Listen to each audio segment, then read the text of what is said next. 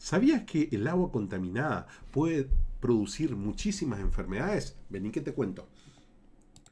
Fíjate, hay ciertas enfermedades como la diarrea, el cólera, la hepatitis A, ¿sí? gastroenteritis, parasitosis, muchos parásitos y son muy frecuentes, vómito y problemas en la piel que casualmente estamos viendo muy seguido y mucho de ello se da por consumo de agua contaminada. Entonces, en este video quiero explicarte cómo prevenir, cómo tratar ese agua para que no sea contaminada y la importancia de cuidar el agua.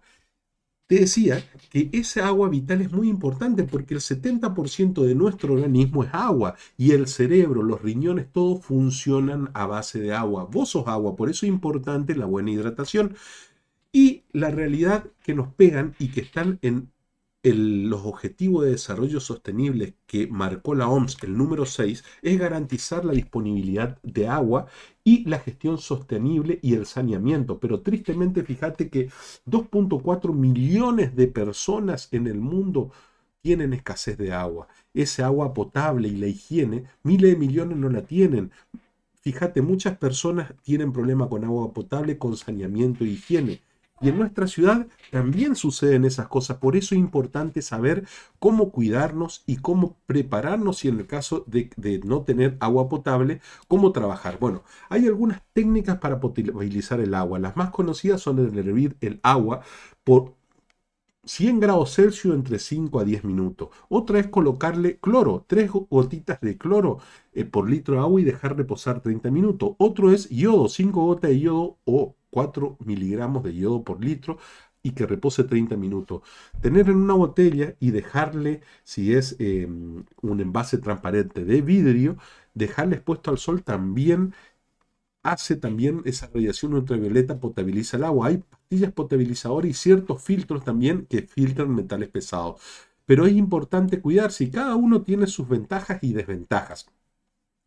Bueno, algo importante también es el lavado de manos. Y en esto me quiero detener porque es sumamente importante que te laves las manos, sobre todo después de ir al baño, también antes de ir a comer, es importante porque la mano contiene muchas bacterias. Si tenés un hijo pequeño y tenés que cambiar el pañal, también es importante que te laves las manos, porque muchas bacterias se transmiten a través de esta situación. Fíjate, lavado con agua y jabón.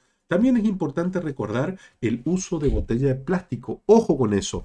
Si vas a tener botellitas, llévalo en, esos termitos eh, o si no, llévalos en botellas de vidrio, ¿sí? Porque hay ciertas botellas plásticas que pueden ser dañinos, dañinos porque tienen bifenol A. Eso alteran a nivel endocrino y pueden traer pubertad precoz, trastornos cerebrales, problemas del desarrollo, dificultades reproductivas y problemas inmunológicos, entre otros. Inclusive también está relacionado con el desarrollo de cáncer infantil. Hay algunas universidades que han descubierto esto. Entonces, importante las botellas de vidrio. Una vez que usas la botellita de agua, bueno, después trata de usar botella de vidrio. Bueno, y quiero recordar una palabra que dijo el Papa Francisco en este 2024. El mundo tiene una gran deuda social con los pobres que no tienen acceso al agua potable, pero también con todos aquellos para que las fuentes tradicionales de agua potable han sido contaminadas por las guerras, destruidas por armas y convertidas en inutilizables o secadas como resultado de la mala gestión de los bosques. Por eso, querido vecino, tenemos que cuidar el agua. Y vos podés hacer algunas cosas para cuidarla. Esto lo decía el Papa en la Jornada Mundial de Oración por el Cuidado de la Creación, que se dio ahora el 27 de junio. Bueno, ¿cómo ahorramos y cuidamos el agua? Primero, cerrar el grifo cuando te lavas los dientes. Trata de usar la lavarropa ya a pleno cuando uses lavadora. También cuando dejas correr el agua para que se caliente, aprovecharla para otros usos.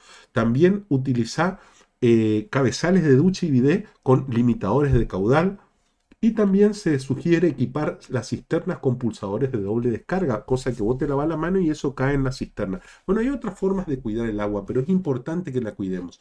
Y recordemos que también los 22 de marzo son el Día Mundial del Agua. Bueno, quise dar esta introducción porque venimos hablando sobre el agua y su cuidado. Y acá en nuestra ciudad es importante que cuidemos el agua, este recurso tan valioso que es muy escaso. Bueno, en los siguientes videos, mira, te voy a contar la importancia del agua como herramienta terapéutica cuando lo usamos como hielo en su estado sólido, como líquido o como en su estado gaseoso. Va a estar imperdible porque vas a aprender herramientas que van a servir para la curación de los pacientes y tu curación. Cuídate, cuidemos el agua.